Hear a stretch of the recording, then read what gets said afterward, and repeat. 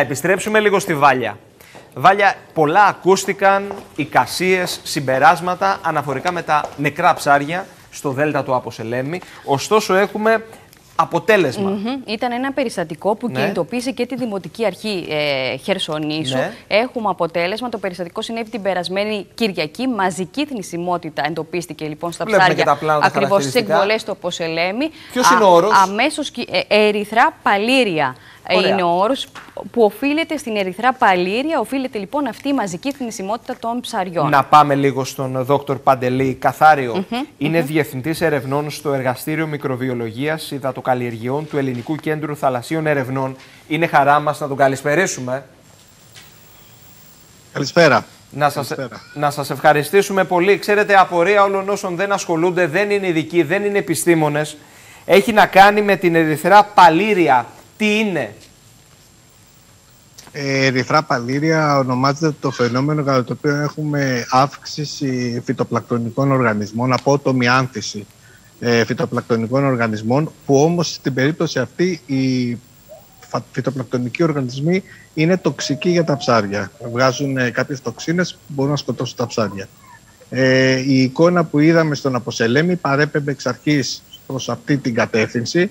Το χρώμα του νερού ήταν καφέ προς το κόκκινο που συνήθως έτσι εμφανίζεται αυτό το φαινόμενο.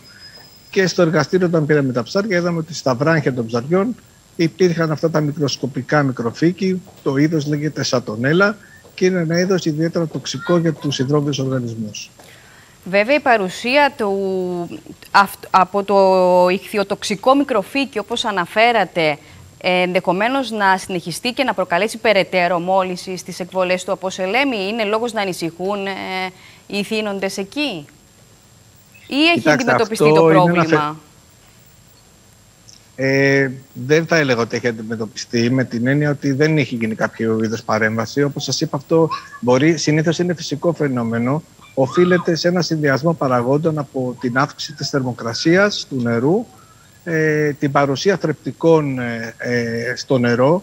Ε, τώρα, αν υπάρχει εξωγενής παράγοντας που ε, δημιούργησε αυτά, έφερε αυτά τα θρεπτικά στο νερό, ε, θα πρέπει να βρεθεί ποιος είναι, ποια είναι αυτή η αιτία και να α, σταματήσει.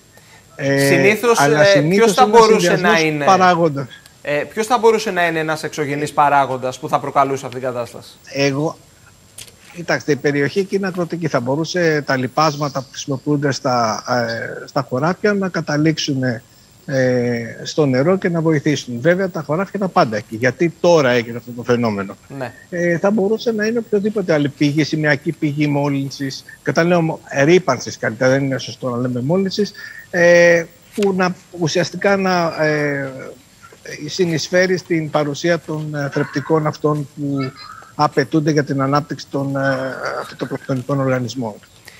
Πρέπει να είμαστε προσεκτικοί γενικά η προτροπή σας εκεί στους ανθρώπους. Διανύουμε και τουριστική Κοιτάξτε, περίοδο. Επειδή ακριβώς είναι τουριστική περίοδος, αυτό ούτως ή άλλως είναι μια ο, πολύ κακή εικόνα. Δεν είναι ωραίο να πηγαίνεις σε ένα τόσο όμορφο μέρος και να βλέπεις νεκρά ψάρια.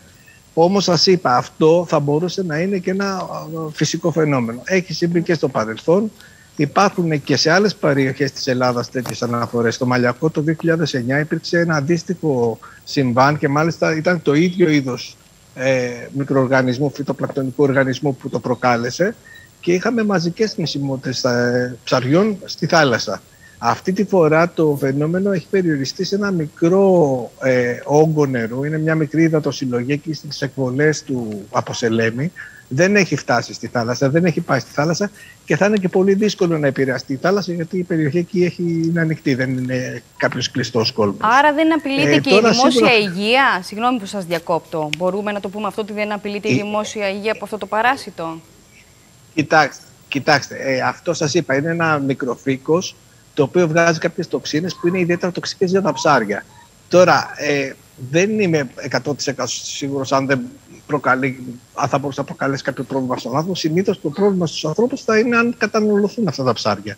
Δηλαδή, σίγουρα δεν, να, θα πρέπει να αποφύγει κάποιος να πάει να πάρει ψάρια από εκεί πέρα, νεκρά ψάρια, το οποίο ούτως ή άλλως δύσκολο να γίνει, αλλά εν πάση περιπτώσει κάπως έτσι θα το φανταζόμουν. Ε, όχι, αυτή η έξαρση, η φυτοπλακτονική δεν νομίζω ότι απειλεί τη, τον άνθρωπο σε πρώτη φάση.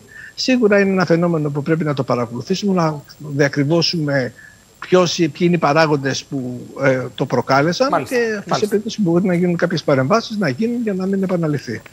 Μάλιστα, κύριε Καθάρη, να σας ευχαριστήσουμε πολύ για την τοποθέτησή σας. Να είστε καλά. Σας ευχαριστούμε θερμά να είστε καλά.